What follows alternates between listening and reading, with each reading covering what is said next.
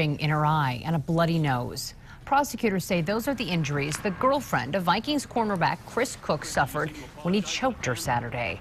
We were there this afternoon when Cook got out of jail, and 5 Eyewitness News reporter Mark Saxenmeyer is live outside of the Hennepin County Courthouse now, where Cook was charged with a felony. Mark?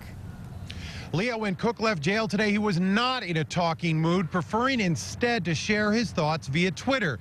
He sent two, one apologizing to Vikings fans, his teammates, his family, and other people, and the second saying, quote, there are two sides to every story, end quote, but offering no further details. Can you tell us about what the charges are like here at this point, how you're feeling? Are you remorseful with, with what's going on?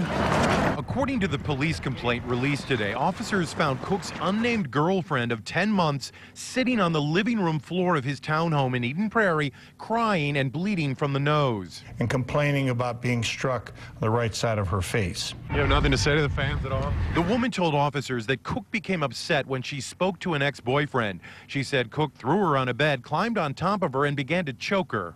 Marks on her neck consistent with strangulation. She has hemorrhage in one eye. You upset you missed the game? If we thought we had the facts for attempted murder here, we'd charge it. We don't.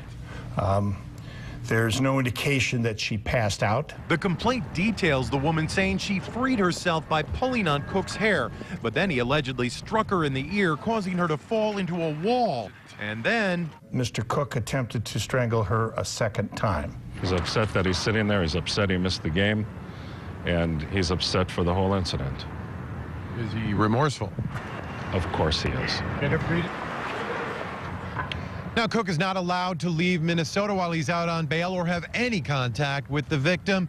We did reach out to Vikings officials today to hear what they have to say. They have not yet returned our calls. Reporting live, Mark Saxenmeyer, 5 Eyewitness News.